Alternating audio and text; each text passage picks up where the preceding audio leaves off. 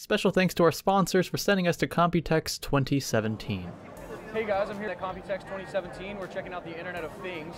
Uh, they have some really awesome innovations with air conditioning systems. Yeah, so AmbiClimate is a product that uses artificial intelligence to control your air conditioner. Because the problem with air conditioners today is you can only set a temperature alone, but there are many other factors that affect your comfort. So things like humidity, sunlight in the room, changing weather outside, even the different times of the day will change what feels hot or cold to you.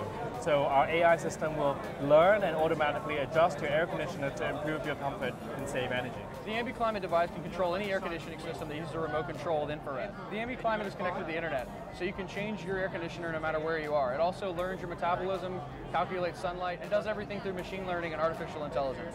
So on a rainy day like today, AmbiClimate will already know that that is the case and adjust my AC accordingly. It's typically pretty hot here in Taiwan. I'm getting blasted by rain off to my right here. But instead of keeping the cooling of the air on for a longer time, because it might be hot outside, in this case, it's not very hot, so it'll know to conserve that energy and not push as much cool air into your home.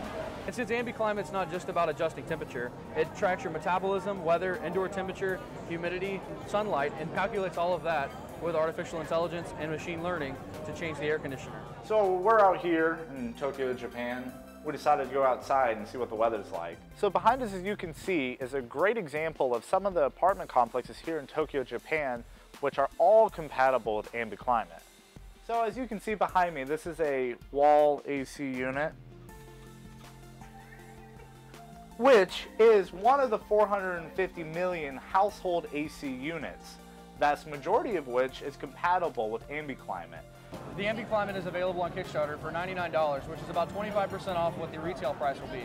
Check it out at ambiclimate.com. All right, so that's a wrap from here in Tokyo, Japan. We're actually heading back to the States in the morning. This is Science Studio, and thank you for traveling with us.